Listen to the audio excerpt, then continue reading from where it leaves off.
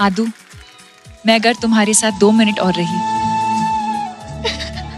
नहीं नहीं बाबूजी का आशीर्वाद है हमारे साथ। पिताजी मान गए आगे बढ़ते हैं। तो मुझे तुमसे प्यार हो जाएगा फिर से। और तुम्हें नहीं होगा फिर से।